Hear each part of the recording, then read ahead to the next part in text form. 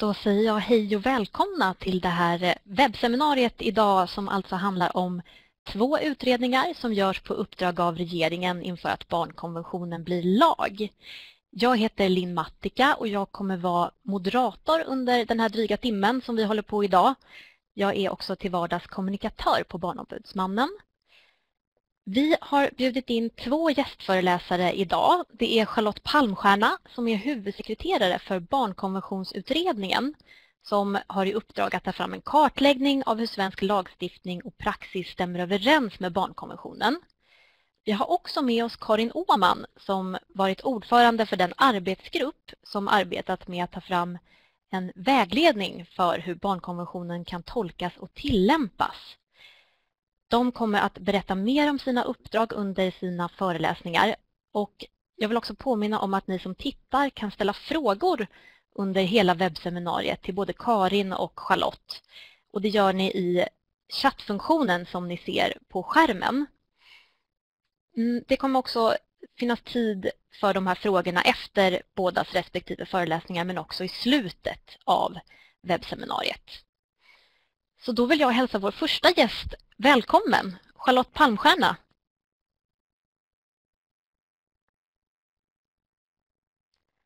Vi ska se om vi har med oss Charlotte. Jag kan inte se att hon är med oss. Där! Hej!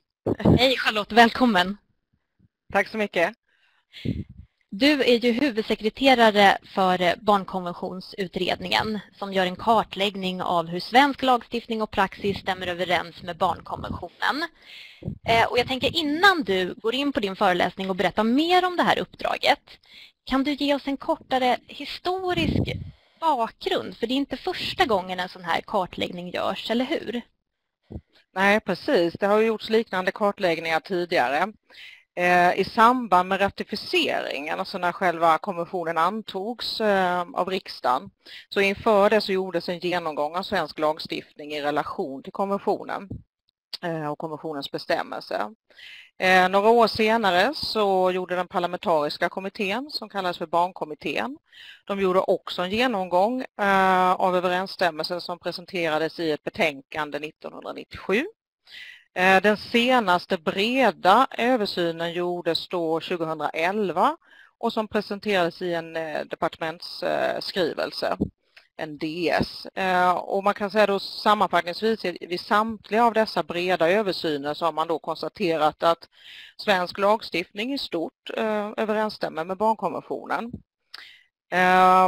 Barnrättighetsutredningen som tillsattes 2013 Ehm, hade inte i uppdrag att titta på överensstämmelsen men däremot att titta på tillämpningen och hur den stämde överens med barnkonventionen eh, och då inom några särskilt angelägna områden och det redovisade de i sitt betänkande 2016. Mm. Och den kartläggning som ni gör nu då, kan man kort säga innan du går in på din dragning, vad är liksom syftet med den? Ja, syftet med kartläggningen det är ju att ge ett stöd i det fortsatta transformeringsarbetet. Eh, och det är ju transformeringsarbetet av barnkonventionens bestämmelser inom olika rättsområden. Eh, och man kan se det som en del av ett helt paket eh, som presenteras i, i, propositionen om inkorporering. Eh, tillsammans då med det vägledningsuppdrag som professor Karin Åhman kommer att berätta mer om här idag. Men också tillsammans med det regeringsuppdrag som eh, ni på Barnombudsmannen har när det gäller kunskapsspridning om barnkonventionen. Så det är ett, ett helt paket eh, som presenteras i propositionen. Mm. mm. Då lämnar jag över till dig så ska du få fortsätta berätta mer om ert uppdrag. Tack så mycket.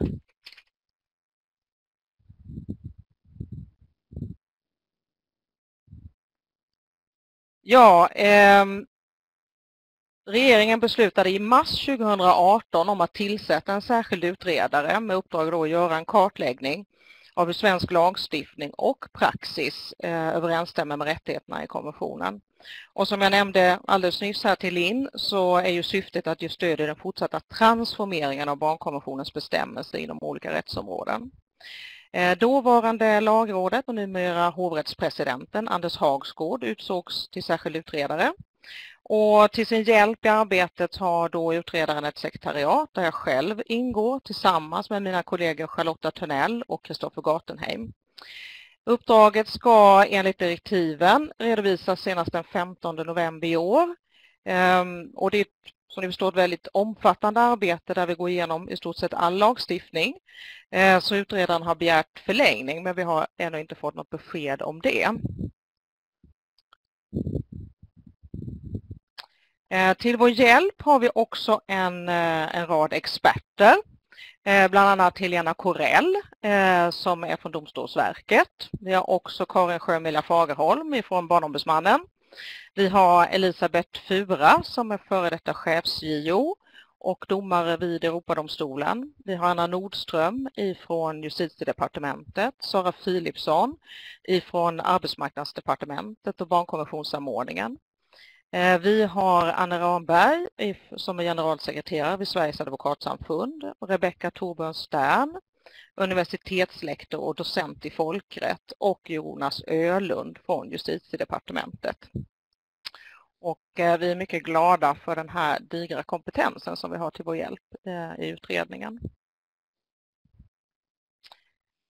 Jag vill nämna någonting om eh, den bakgrunden som, till vårt uppdrag som också finns i våra direktiv. Och bland annat då så hänvisas till eh, strategin för att stärka barnets rättigheter som riksdagen antog 2010 och som alltjämt gäller. Eh, och av den framgår att all svensk lagstiftning då ska utformas i överensstämmelse med barnkonventionen. Eh, transformeringsarbetet eh, har ju pågått egentligen sedan ratificeringen 1990 eller rättare sagt då konstaterades normharmoni, att svensk lagstiftning var i god överensstämmelse med, med bestämmelserna i barnkonventionen. Men sen allt eftersom så har eh, barnkonventionens bestämmelser också förts in i nationell lagstiftning. Till exempel i socialtjänstlagen, LVU, skollagen, hälso- och sjukvårdslagen. Och det är främst barnets bästa, barnets eh, rätt att komma till tal som har blivit infört i, i lagstiftningen. Eh, I direktiven så betonas då att för att barnets rättigheter ska få genomslag behöver arbetet med transformering av barnkonventionens bestämmelser inom olika rättsområden fortsätta vid sidan av en inkorporering. Så det handlar alltså inte om ett val mellan inkorporering och transformering. Som diskussionen om vi går ett antal år tillbaka handlade väldigt mycket om att är det ena eller det andra bättre utan det är båda. Och eh, både i direktiven till den då tidigare barnrättighetsutredningen och i propositionen om inkorporering så var regeringen tydlig med att det handlade om både inkorporering och transformering. Ehm, I ehm, direktiven så betonas också att genom fortsatt transformering kan då författningsbestämmelse tydliggöra vad rättigheterna innebär i en svensk kontext vilket då eh, ökar förutsebarheten och ger rättstillämparen ytterligare stöd i uttolkningen av tillämpningen av barnkonventionen.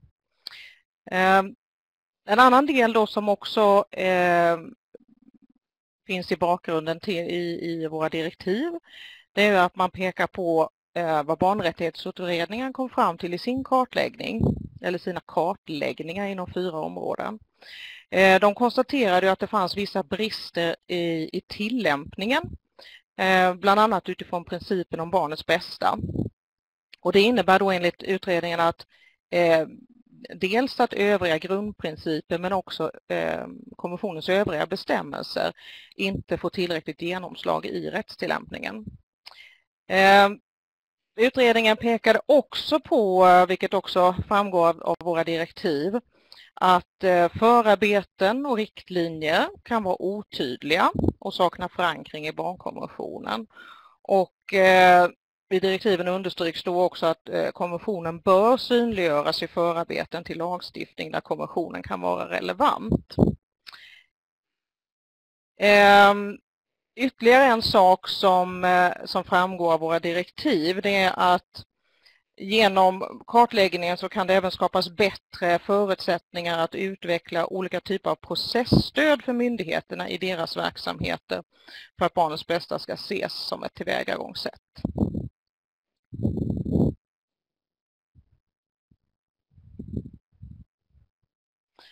Ja, mot eh, den här bakgrunden då så fick eh, den särskilda utredaren i uppdrag att göra en kartläggning av hur svensk lagstiftning och praxis överensstämmer med rättigheterna i barnkonventionen.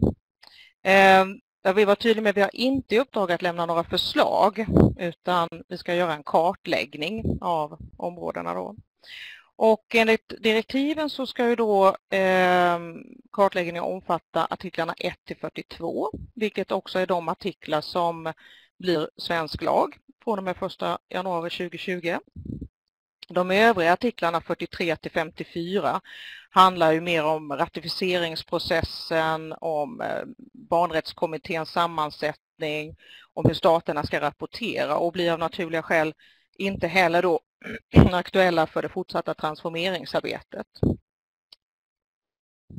Eh, I de eh, tidigare utredningarna eh, så har kartläggningar gjorts mer område för område och enligt en, en uppdelning som finns i de guidelines som, som staterna följer vid, vid sin rapportering. Men vi har då valt i vårt arbete att kartlägga artikel för artikel. Och eh, det har vi gjort eh, dels ehm, för att det blir enklare, eh, vår bedömning, att hitta för den som letar efter en särskild artikel. Dels för att vi har tolkat direktiven på så sätt. Ehm, och den genomgång som, som vi gör nu ehm, är enligt vår bedömning mer grundlig än tidigare genomgångar. Eh, vi ska också eh, enligt direktiven särskilt redovisa hur bestämmelser om eh, barnets bästa och barnets rätt att uttrycka sina åsikter och få dem beaktade tolkas då i den praktiska tillämpningen samt vilken innebörd de ges inom olika rättsområden. Och inom ramen för den redovisningen så ska vi också analysera hur barnets bästa förhåller sig till andra intressen som ska beaktas. Så vi kallar detta för vår fördjupningsdel. Eh, och här kommer vi att, att titta mer då på, på den praktiska tillämpningen. Eh, vilket vi då inte gör i, i genomgången av artiklarna 1 till 42 för det inte, vi ska inte titta på tillämpningen eh, eh, framgår då av direktiven. Men i den här delen så kommer vi titta mer på, på tillämpningen då. Och som jag tidigare nämnde så ingår det inte ehm, att lämna förslag. Ehm, jag kan också nämna att bakgrunden till den del av uppdraget då som, ehm, som handlar om barnets bästa och barnets rätt att uttrycka sina åsikter eh, är ju då de generella iakttagelser som också barnrättighetsutredningen gjorde utifrån de fyra områden som de kartlade vad det gäller tillämpningen av, av barnkonventionens bestämmelser Eh, i svensk lagstiftning. Eh, de eh, konstaterade att det fanns olika formuleringar men också att förarbetena inte var helt samstämmiga vad det gäller tolkningen av till exempel barnets bästa.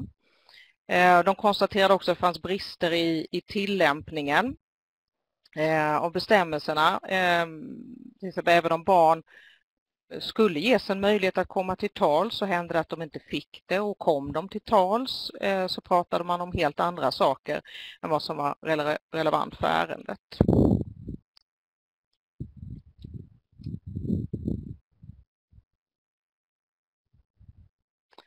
Ehm, ja, som jag nämnde, vi har ett omfattande uppdrag och eh, vi brukar säga det att vi, vi vet inte vad vi inte vet.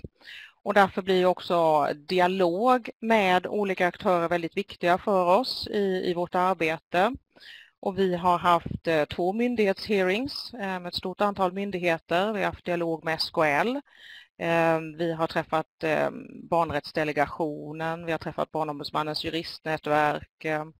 Vi har har och kommer att ha eh, flera bilaterala eh, dialoger med, med barnrättsorganisationer. Vi har också gått ut genom olika nyhetsbrev både via SKL och Barnombudsmannen för att få in tips och, och råd från myndigheter, eh, landsting, kommuner, civila samhället och allmänheten just kring vad bristande överensstämmelse. Eh, så att eh, mycket dialog är viktigt i vårt arbete. Eh, och som ni förstår så pågår ju vårt arbete eh, och eftersom vi inte är klara så kan jag inte delge några, några slutsatser och resultat men eh, vi, vi eh, kan ändå dela med oss av några observationer som vi har gjort eh, så här långt. Eh, och vi kan väl säga att precis som tidigare kartläggningar så kan vi se att svensk lagstiftning i stort stämmer väl överens med, med konventionen. Och diskrepanser finns mer i detaljer och undantag för särskilda grupper grupper.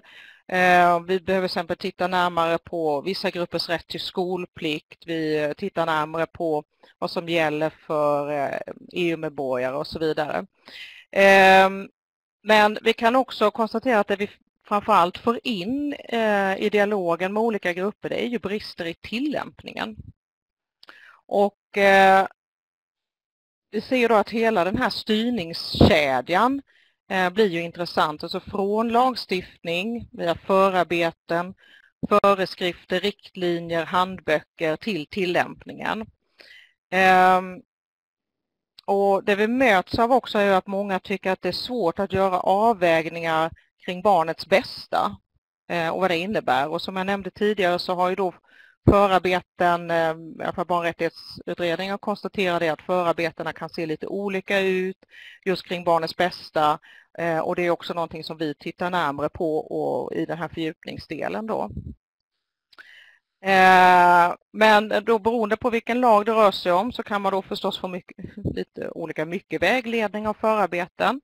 Ehm, men ofta så finns det vägledning ändå och det finns eh, utarbetade från olika sektorsmyndigheter, Socialstyrelsen, Migrationsverket och så vidare i form av allmänna råd och handböcker.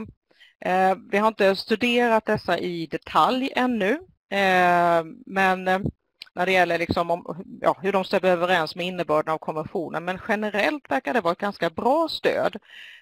och det som vi kanske funderar på i utredningen nu det är också hur når de här vägledningarna ut till de som ska tillämpa bestämmelserna i praktiken.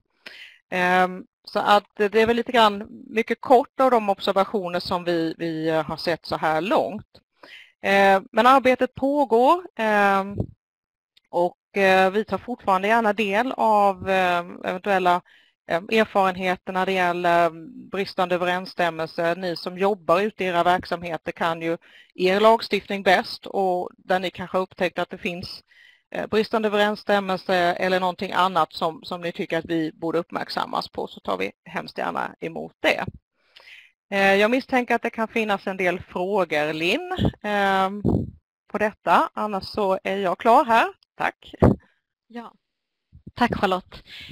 Jag tänkte på det som du sa med det här med hur man för ut det som ni kommer fram till. Mm. Hur ser liksom, kan inte du säga, eftersom att det är ett pågående arbete så förstår jag att du inte kan berätta exakt vad ni har kommit fram till nu och sådär. Men kan du ändå berätta lite mer, mer om alltså vad det är för, vad, alltså, kan man säga någonting om vad det är för sorts liksom, produkt som ni kommer landa i och liksom hur, kan du berätta lite mer om hur, hur den ändå är tänkt att användas?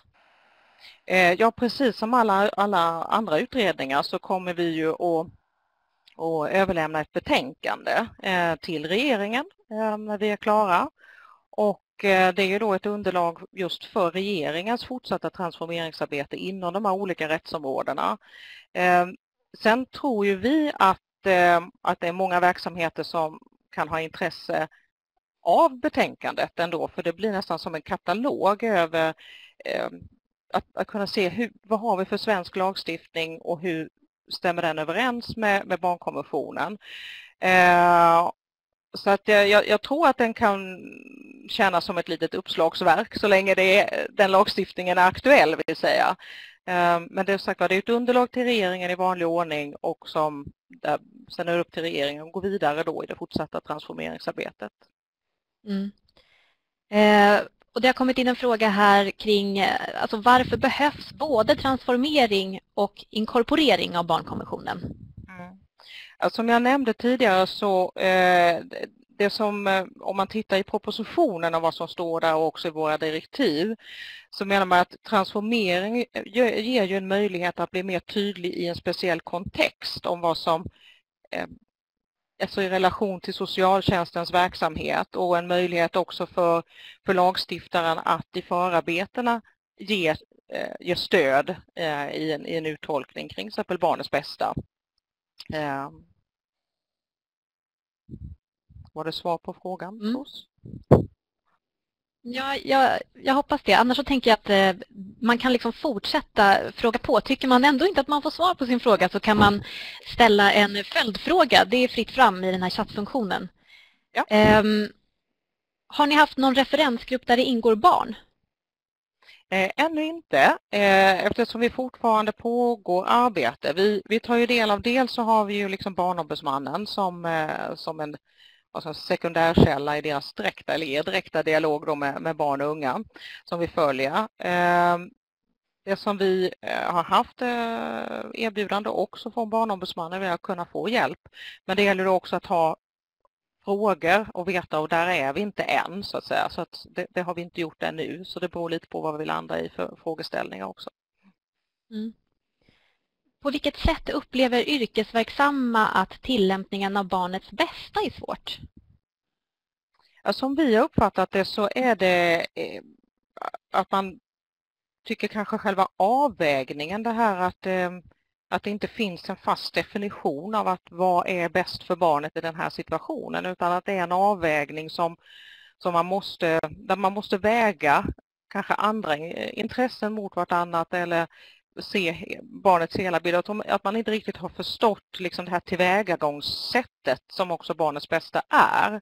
Att det är en prövning eh, och det är just då den här prövningen som, som eh, jag upplever att många tycker är svår. Mm. Det har kommit in här också en fråga om eh, kring Norge och eh, ifall ni kommer att snegla på vad till exempel Norge gjort för att stärka sin övriga lagstiftning när de gjorde barnkonventionen till lag?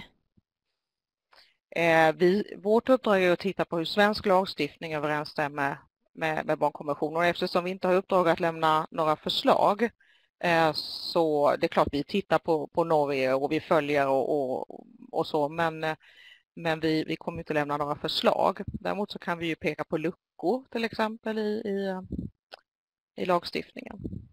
Mm. Men har ni liksom använt Norge som någon form av liksom modell eller hjälp kring hur ni lägger upp ert arbete? Eh, motsvarande kartläggning har ju inte gjorts i Norge. Nej. Eh, har vi inte kunnat ta hjälp av i det här fallet. Kanske Norge tar hjälp av oss i nästa steg, det vet man inte. Ja, precis.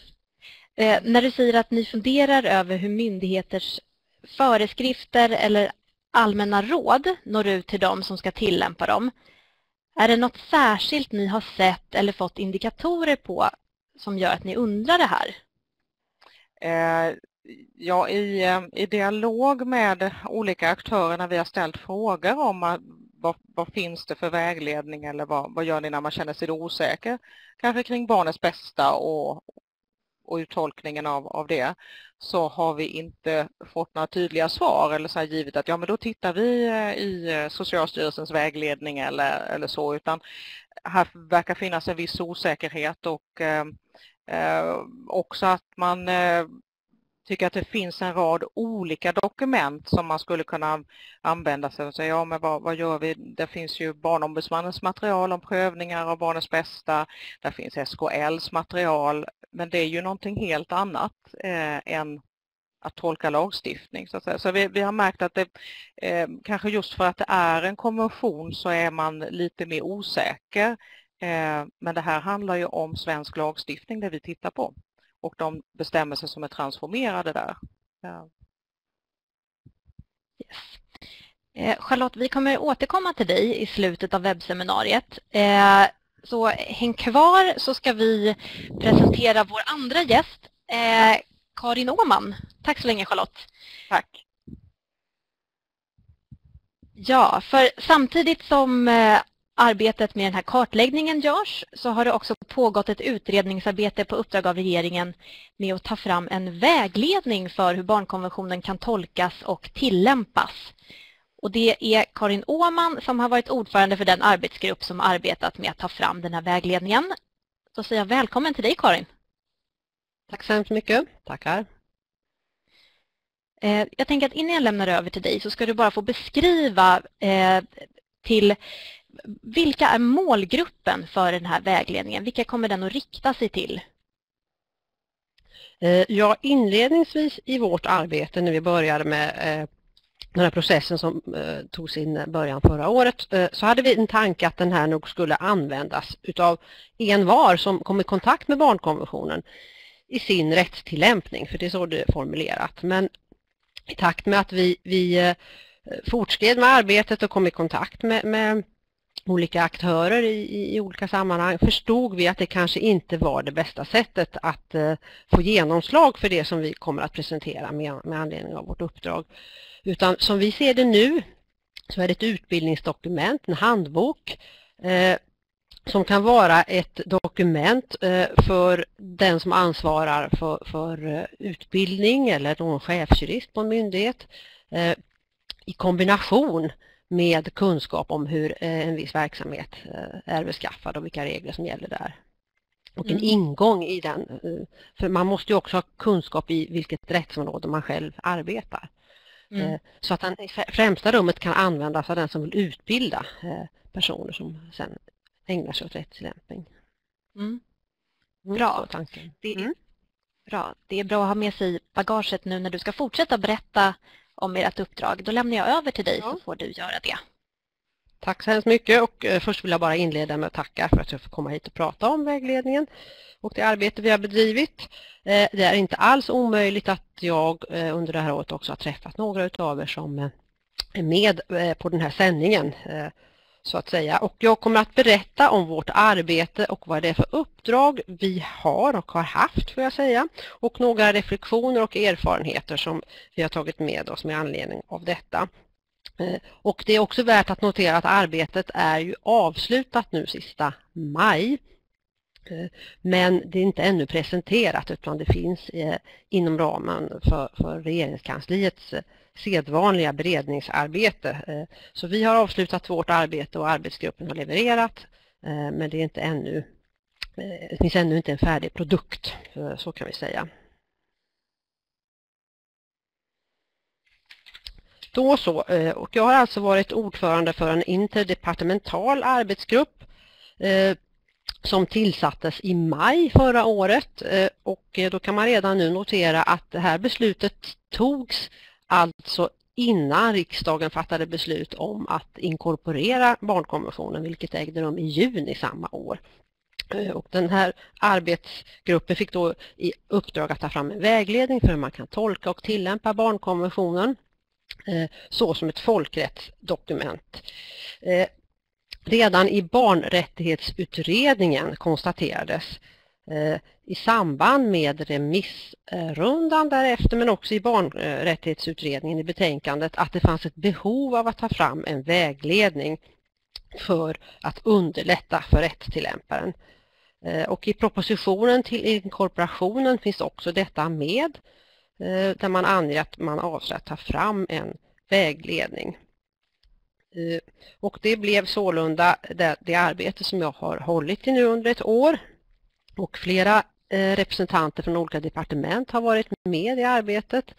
Eh, här anges Socialdepartementet, Justitiedepartementet, Utrikes-, Kultur- och Utbildningsdepartementet. Men under det att arbetet eh, pågick så fick vi en ny regering och Socialdepartementet blev här i våras då Arbetsmarknadsdepartementet. Eh, för det är där som barnrättighetsfrågorna ligger eh, nu idag. Och det har varit jag som har fungerat som eh, ordförande i arbetsgruppen och det har funnits två sekreterare, det är Sara Philipsson och Åsa Elmeroth. Och vi har haft ett års tid på oss att lämna förslag på en vägledning.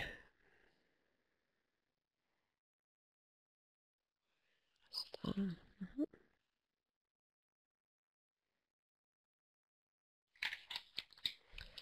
Varför Eh, görs detta då, eller har detta gjorts? Eh, ja, eh, tidigt uppdagades det att det fanns ett behov att göra detta som, och att det skulle fungera som ett stöd för rättstillämparen vid tolkning och tillämpning av barnkonventionen.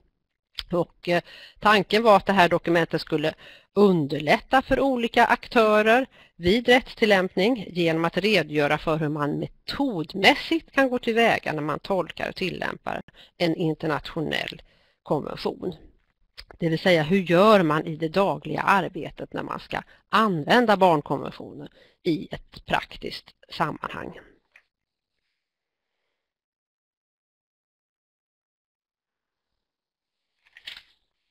I vårt uppdrag så står det, vår uppdragsbeskrivning, vad en vägledning bör omfatta.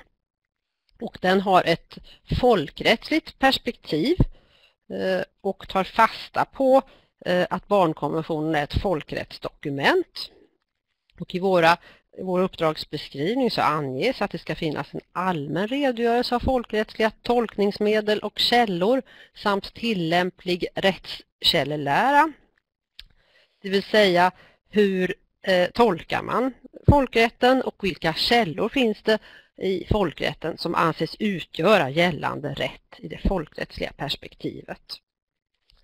Likaså så ska det finnas en redogörelse av de tolkningsmedel och källor som man kan använda sig av för att få besked om hur barnkonventionen kan tolkas och tillämpas.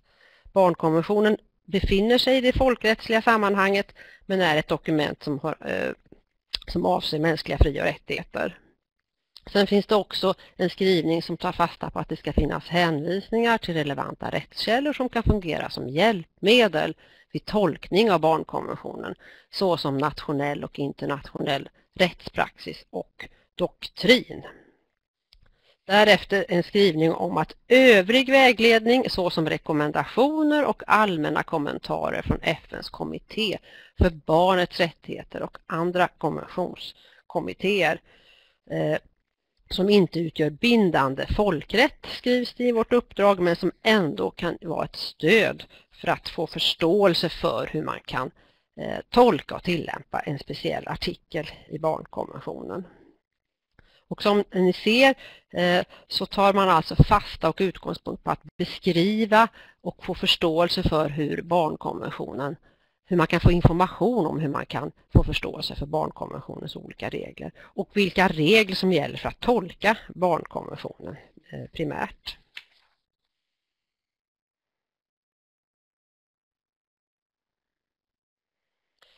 I vårt arbete ingår också, förutom att eh, lämna ett förslag på en vägledning hur den kan göras tillgänglig eh, för olika målgrupper och hur den eventuellt kan uppdateras och vilka aktörer eh, som kan vara lämpliga att eh, ta hand om vägledningen så att den kommer till användning. Och i vårt arbete har det också ingått eh, på samma sätt som i den tidigare redovisningen ett, eh, ett uppdrag att informera sig om och beakta annat arbete med relevans för vårt uppdrags genomförande och att föra dialog med bland annat BO, eh, DV, Domstolsverket, länsstyrelserna, SKL samt andra relevanta aktörer. Och vi har haft ett ett gediget här, mötesschema under det här året där vi har träffat flera olika myndighetsrepresentanter och varit ute och pratat. Och vi har eh, inför de här mötena ställt frågor om hur, hur man ser på tillämpningen av barnkonventionen å ena sidan eh, i det sammanhanget när barnkonventionen bara gäller som folkrätt, eh, enbart som folkrätt, men också hur man ser på barnkonventionen eh, framöver som ett eh, som gällande svensk lag. Eh, och det kan jag ju säga redan nu eh, att eh, man har varit, i de mötena vi har haft har vi sett att man har haft ett ganska stort fokus på materiella frågeställningar. Kanske inte alla gånger så mycket frågeställningar kring hur man ska gå tillväga. Och det är lite grann det vårt uppdrag tar fasta på. Och sen har vi också haft ett, gjort ett studiebesök till Norge i höstas där vi hade samtal och kontakt med, med flera olika jurister för att få, få höra vilka erfarenheter man, man drog av arbetet med eh, barnkonventionen i Norge när den inkorporerades. Eh, där gjordes inte heller någon vägledning eh, på det sättet som vi har gjort här nu då.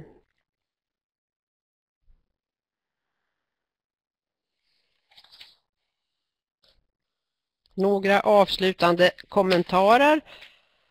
Eh, det här uppdraget som jag sa inledningsvis är ju oberoende av beslutet om att göra barnkonventionen till lag eftersom det gavs i maj och regering, eller riksdagens beslut fattades i juni. Men eh, det bör ju rimligen anpassas till ett sådant beslut i riksdagen. Det vill säga den delen som tar hand om metodfrågor bör ju alltså omfatta frågan också hur man kan använda den praktiskt i den situationen som vi har en lag framför oss och inte enbart folkrätt. Eh, en fråga som har kommit eh, har funnits med under hela detta utredningsarbete det är ju frågan om vilka artiklar i barnkonventionen som möjligen kan användas direkt som en komplettering till den inhemska Eh, författningsbestämmelser som man har eh, framför sig i vardagen. Eh, och den frågan ska inte vägledningen ge svar på utan det är någonting som får besvaras i den framtida rättstillämpningen, vilka regler som kan få vilken typ av innebörd i praktiken. Och den här vägledningen ska inte heller uppfattas som en rättskälla och inte heller att den är bindande utan det är en vägledning, handbok. Eh, och den ska heller inte utgöra någon anvisning till rättstillämparna om hur man ska tolka och tillämpa svensk lag i ett enskilt fall. Och eh, slutligen den ska vara praktisk och användbar. Och den ska också utgöra grund för fortsatt arbete inom olika sektorer om hur barnkonventionen kan komma till uttryck i praktiken. Och det här arbetet har också, eller bör, som det står här, anpassats till kartläggningsarbetet som pågår. Och tanken eh, avslutningsvis är att det är ett utbildningsdokument och att den ska kunna användas som en ingång för att utveckla en egen, sin egen verksamhet utifrån ett mer barnkonventionsanpassat perspektiv. Och vi har alltså lämnat över vårt arbete och nu eh, ligger det inom ramen för regeringskansliets sedvanliga beredningsformer. Eh, eh, och vi, vi, har lämnat av och eh, ja, sista maj eh, ägde det rum helt enkelt. Och där stannar jag.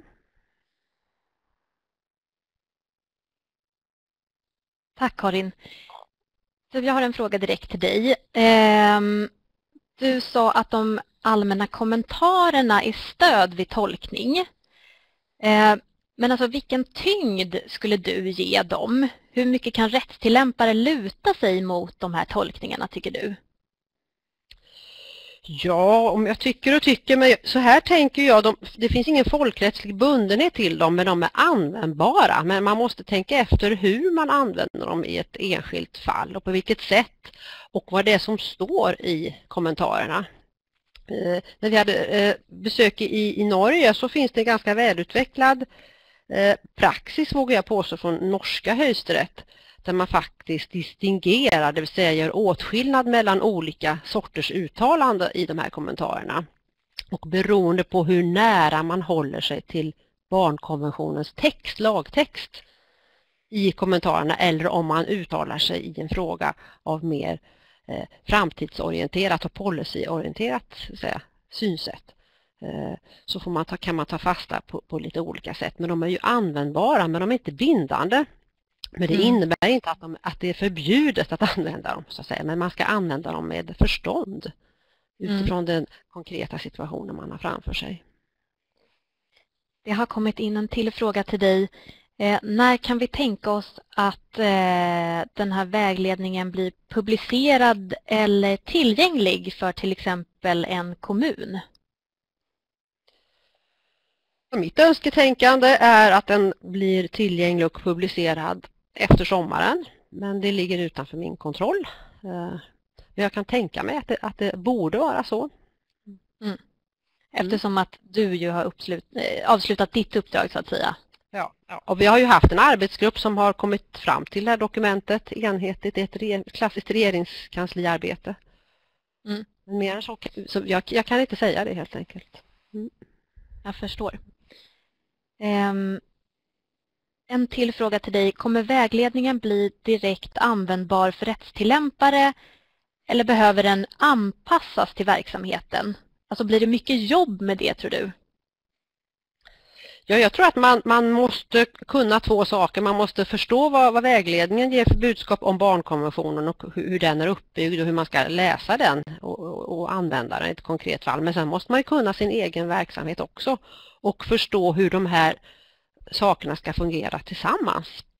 Man har en intern inhemsk bestämmelse man ska följa men sen finns det barnkonventionen som är lag i, framöver här nu då och vilken, frågan blir vilken betydelse när man i första hand då tolkar den inhemska bestämmelsen får barnkonventionen.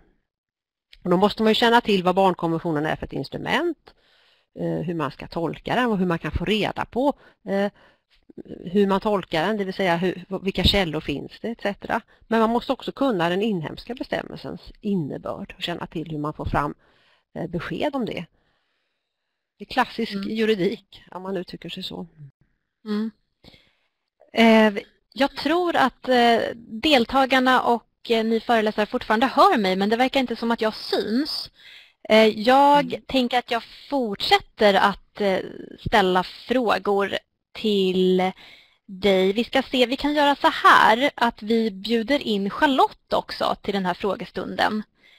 Charlotte, välkommen in i bild igen för vi har nämligen frågor som riktar sig till er båda. Hej! Hej Charlotte! Eh, nu ska vi se. Eh, jo, det har kommit in en fråga här när det gäller barnets bästa.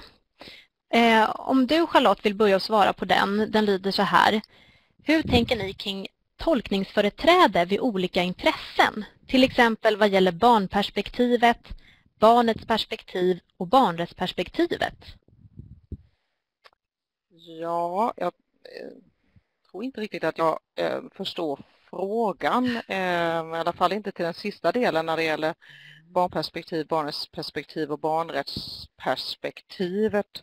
Ehm, så där får man kanske gärna förtydliga, tänker jag, eh, om inte Karin förstår det bättre. Men generellt så kan man väl säga så här att eh, tolkningsföreträde vet jag inte riktigt eh, om man är ute efter det här med en avvägning eh, vid olika, gentemot olika intressen.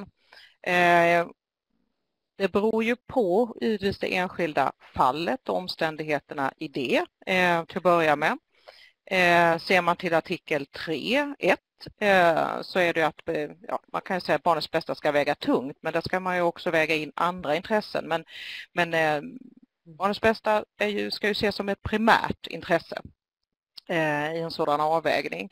Men eh, det beror ju också på sen vad den nationella lagstiftningen, den kan ju gå längre än så och vara skarpare och där, där kanske barnets bästa ska vara avgörande. Så det, det beror helt på vilket eh, ja, enskilt fall det handlar om och omständigheterna i det som ett mer generellt svar eh, kring det. Och annars så behövs det nog lite förtydligande. Mm. Jag tänker att den som har ställt den frågan kanske kan förtydliga sin fråga lite. Eh, det har kommit in, jag vet, jag, det verkar inte som att jag syns fortfarande här men jag tror att ni fortfarande hör mig, eller hur? Hör Charlotte och Karin mig? Ja, absolut. Ja, men det är bra. Ja.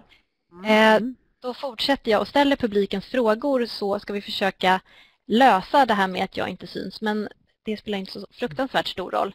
Eh, det har kommit in en fråga här kring samarbetet mellan era två utredningar. Eh, hur har det här samarbetet sett ut? Kan ni berätta lite mer om det? Charlotte, du kanske vill börja? Eh, ja, det sågs ju som ganska självklart att vi, vi eh, skulle ha ett samarbete och, och, en kontinuerlig dialog i det här eftersom uppdragen eh, hänger ju intimt samman och, och, vi behöver ha dels lite ja, frågor som vi behöver diskutera så att vi har en samsyn kring det och så. Mm. Eh, och man kan ju säga att i vårt arbete så så tittar vi ju just på eh, artikelns innebörd och de svenska förhållandena och då behöver vi ju också förstås jobba på, på ett sådant sätt så att vi eh, jobbar utifrån alltså säga, en, en, vägledning som ännu inte finns. Men det är ju ingen, ingen hemlig metod på något vis, eller hur Karin? Nej, inte alls, inte alls. Nej. Och vi har haft ganska stort utbyte skulle jag vilja säga med varandra för det, det barn, eh, barnkonventionsutredningen säga att jag säger rätt, eh, gör, eh, det är det vi försöker beskriva, det vill säga hur man använder barnkonventionen Eh, i ett, i ett konkret exempel när det gäller lagstiftningen. Eh, så någon form av samsyn måste vi ju ha, det vill säga hur man använder eh, rättskällorna för att komma fram till svar på en viss fråga. Mm. Tack så mycket. Eh, jo, Charlotte, en fråga till dig. Har ni stött på några nationella eh, lagregler som står i direkt strid med barnkonventionen? Som jag sa tidigare, i ehm, utredningsarbetet pågår ju så vi kan ju inte eh, delge några ehm, definitiva slutsatser.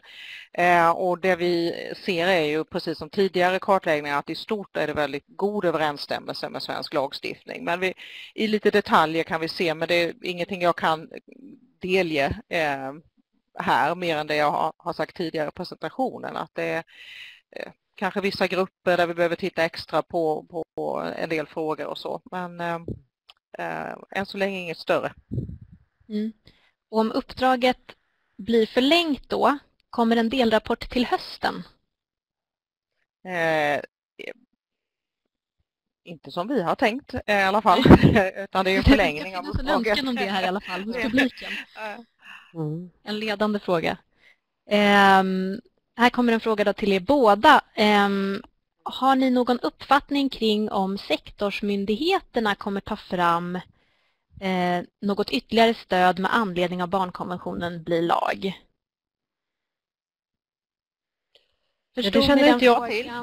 Ja, jag, jag, jag, känner inte till det, om, om det är på det viset att det blir ytterligare stöd med anledning av av att konventionen blir lag. Men det finns väl i och för sig inget som hindrar att man gör det om det finns behov. Mm.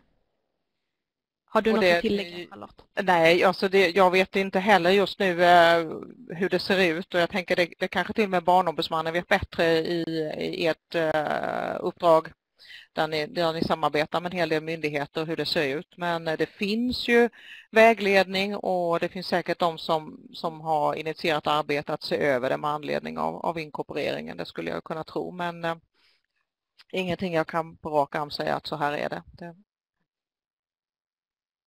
Mm. Och det där, precis. Det kan vara så att några av mina kollegor här på Barnombudsmannen också vet mer om det men i så fall kan vi återkomma till det tänker jag. Um, nu ska vi se om det har kommit in några fler frågor. Um, mm, mm. Ja, här är en fråga om vägledningen. Kommer mm. vägledningen att handla om artikel 42, till exempel om skolans roll i att sprida kunskap om barnkonventionen? Nej, det kommer det inte göra utan den är ett allmänt dokument om eh, folkrätt och barnkonventionen i det folkrättsliga systemet och hur man kan Eh, få klarhet i hur man ska tolka och tillämpa barnkonventionen. Vilka rättskällor man mm. ska söka sig igenom då. Eh, så det kommer inte finnas några sådana konkreta saker. Mm. Eh, det har kommit en till fråga som berör skola, men till dig Charlotte. Eh, du nämnde att kartläggningen funnit att svensk rätt på det stora hela stämmer överens med barnkonventionen, men du nämnde att vissa brister kring vissa gruppers rätt till skolplikt. Vilka grupper av barn handlade det om och var det vissa gruppers rätt till utbildning som du menade? Ja, det, det behöver vi ju titta mer på. Eh, barnkonventionen är ganska tydlig med att det är en obligatorisk eh, grundskola. Eh, och sen då eh, är det ju grupper som har rätt till utbildning men de har inte skolplikt. Så att ja, eh, vi får titta närmare på det, men sen om det innebär att det är en bristande överensstämmelse, det, där eh, har vi inte landat ännu. Så att säga. Men när vi tittar på den typen av frågor. Mm. mm. Det har kommit in ett förtydligande också kring den tidigare frågan här. Barnets perspektiv kan till exempel krocka med en förälders tolkning av vad som är barnets bästa. Vad är det då som ska väga tyngre när man gör en prövning av barnets bästa? Är det är någonting som ni kan svara på utifrån era uppdrag? Nej, och det, det, jag skulle säga att, att det kanske är just den här eh, när jag nämnde tidigare att vi har, har stött på att det finns en, en, en osäkerhet kring Ehm, alltså hur gör man en avvägning kring barnets bästa så hade man kanske önskat det förstår man att man har önskat att det fanns ett facit att det här ska väga tyngre, det är mindre tungt och så vidare. Eh, men det är ju det här just som ligger i eh, ja, rollen man har eh, i sin myndighetsutövning eh, att göra de här avvägningarna och det beror ju helt på ehm, vad är det barnet har framfört? Vad handlar det om? Alltså det, det, går inte att säga att det väger tyngre eller inte. Men att barnets eh, synpunkter ska beaktas är ju tydligt. Men det beror på vad det är barnet har framfört och vad det handlar om och i relation till vad föräldrar... Så det, det, det går inte att säga att barnet ska ha företräde framför föräldern för det, det beror på ålder och mognad, eh, omständigheterna och så vidare. Så att det, det... Mm. Mm. Vad, man, vad, man, måste notera och konstatera att när barnkonventionen blir lag så löser den ju inte de konflikter som redan finns i olika sammanhang mellan olika intressen utan de finns ju kvar i systemet och vad man kan komma till eh, insikt om möjligen när det blir lag det är att vissa konflikter bör regleras tydligare och mer i detalj för att rättstillämpningen ska bli mer enhetlig exempelvis eller för att den inte är tillfredsställande utifrån barnkonventionens perspektiv. Men den löser inte de här konflikterna utan de finns ju kvar i systemet. Mm. Um, en till fråga som riktas till er båda. Alltså barnets rätt att utkräva sin rätt. Hur ser ni på vägar för det? Hur kan vi förtydliga det för barn? Lyder en fråga. Är det någon av er som känner att ni kan svara på den kluriga? Nej, inte utifrån uppdraget. Alltså det... Nej.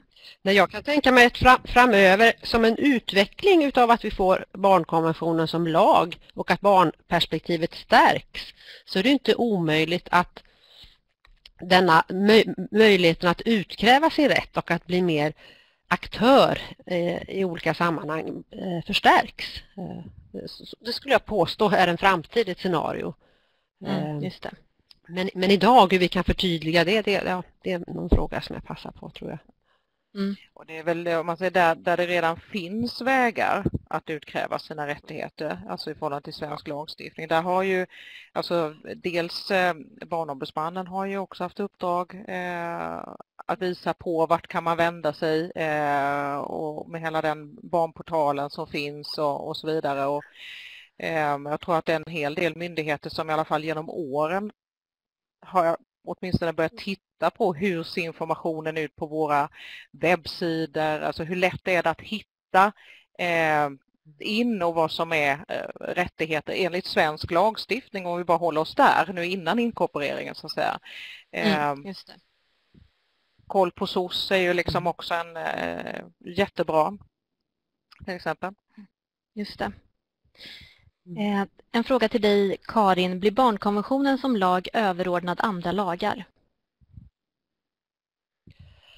Så det enkla svaret är ju nej, den får ju samma eh, ska säga, hierarkiska status som en vanlig lag eh, och det har ju varit avsikten eh, med att göra den till lag, att man inte vill eh, ge den konstitutionell status om man så vill eller göra någonting som man gjorde med Europakonventionen när man genomförde den och gjorde den till svensk lag att man förde in en reglering i grundlagen som sa att lagstiftning får inte eh, bryta mot Europakonventionen, eh, kort och gott.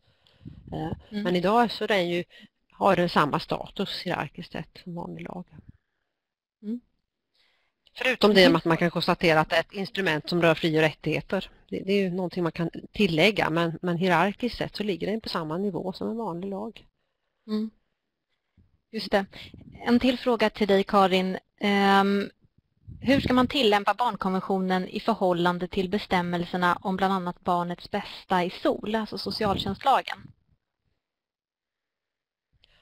Och det är en jättestor fråga. Så här. Eh, men det, vad, möjligen vad frågan tar fasta på det är att man redan i de här bestämmelserna har genomfört barnkonventionen, transformerat eh, delar av barnkonventionen till den svenska regleringen. Eh, och sen har man då barnkonventionens perspektiv så att säga och reglering i barnkonventionen om barnets bästa. Då får man ju ha en tillämpning som förstärker skulle jag säga det fördragskonforma perspektivet att man använder barnkonventionen eh, för, äh, i ökad grad när det gäller att förstå innebörden av de här bestämmelserna när det blir lag. Eh, för det kan man ju säga att principen om fördragskonform tolkning gäller ju både då, det vill säga när det är folkrätt, men också när det blir lag. Och så vad är skillnaden då? Ja, det är ju att den här principen blir i någon mån och mening lagfäst. Nu måste man tolka svensk lag fördragskonformt när det är relevant och tillför någonting. Så det är väl ett, ett svar på detta kanske. Mm. En fråga till er båda. Eh, flera myndigheter och domstolar, liksom lagrådet, var ju negativa till att barnkonventionen skulle inkorporeras. Bedömer ni att ert arbete på olika sätt kan bemöta den kritik som framförts av olika instanser? Charlotte, vill du börja? Ja, nu eh, tittar vi på överensstämmelsen när det gäller eh, svensk lagstiftning och med barnkonventionen. Eh, så att om, om det löser liksom den kritiken vet jag inte men, men man skulle väl kunna säga det man kanske skulle kunna eh, tydliggöra om det finns eh, bristande överensstämmelse så blir det mm tydligt genom våra resultat. Eh, de luckor som kanske finns blir tydliga. Förhoppningsvis så hittar vi ju det som ska hittas. Men också skulle jag nog vilja säga så kanske man blir lite tryggare med att det är ganska god överensstämmelse. Och, eh, så min, min bedömning är ju att vi gör en, en mycket ja, mer grundligare genomgång av svensk lagstiftning. Vi kammar all lagstiftning. Mm. Eh, så att det kanske snarare kan trygga. Eh, I viss mån kanske den kritik där man var orolig över att det kan finnas konflikter och emellan barnkonventionen och, och svensk lagstiftning så kanske det blir inte så eh, ja, bara luddigt utan då vet man på, i så fall var är det eller finns det inte alls så att säga. Karin, vill du tillägga något där? Ja, det var ju väldigt många olika saker som man hade synpunkter på eh, när det gällde att man var kritisk till att genomföra barnkonventionen. Men en del var ju det att man skulle ge domstolarna ökad makt eh, genom att barnkonventionen är ett ganska så allmänt hållet instrument. Eh, och det tror jag inte en sån här kanske vägledning heller eh, eh råder bot på den typen av, av, perspektiv. Det tror jag inte alls. Eh, men eh, vad vi kommer att visa i vårt dokument är ju att det här är i någon mån och mening same same but different. Det, det man, man, gör som man, ska ha, som, som man alltid gör eh, men med det perspektivet att man, att man måste använda barnkonventionen påstår jag när det är relevant eftersom den är lag nu, att den har blivit skarpare instrument i rättstillämpningen. Men det innebär ju inte att man inte ska läsa vad som står i barnkonventionen. Lagtext gäller ju på samma sätt som i andra sammanhang. Mm. Så i viss mån kanske det gör det att kritiken kan ja, tonas ner. Mm. Men också de som har varit eh, har förespråkat en inkorporation eh, kan man, man, kan väl säga bara det här året nu eh, som har löpt efter det att beslutet om inkorporation har tagits har ju inneburit en skjuts för, för de här frågorna. Eh, man har börjat använda barnkonventionen kan vi se i olika sammanhang på ett sätt som man inte gjorde innan. Lagrådet exempelvis gjorde ett yttrande i höstas. Eh, så bara det faktum att konventionen ska bli lag eh, medför att, att alla, att det blir skarpt läge, att det skjutsar sakerna framåt. Det är mm. vår bild också. Mm. Delar den. Mm. Um, nu ska vi se här, vi har tid för en fråga till. Uh, det är också en fråga som riktar sig till båda. Eh, finns det rättsfall internationellt som kan användas i fall där barnkonventionen inte efterlevs?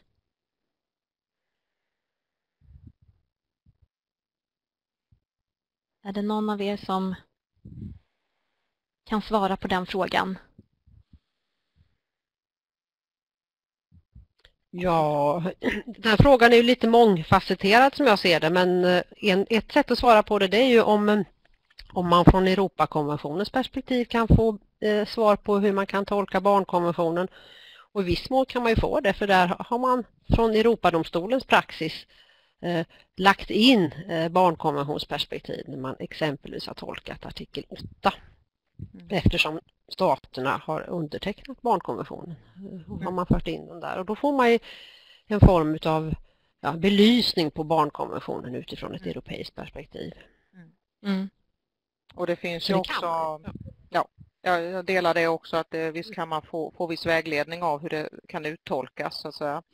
Eh, och det är ju också, det, man ska ju inte eh, man ska komma ihåg att barnkonventionen är ju ett dokument som också bekräftar de grundläggande mänskliga rättigheterna, alltså de som redan finns i, i, i de andra konventionerna, men också då i Europakonventionen. Det kan vara rätt religionsfrihet och så vidare, så det finns ju en hel del områden där man faktiskt kan söka viss vägledning och där man kanske också använt sig av barnkonventionen, eh, som Karin säger. Mm. Ehm, vi ska hinna med en sista fråga bara. Ehm, Inom vilka områden tror ni att barnkonventionen kommer att göra störst skillnad när den blir lag?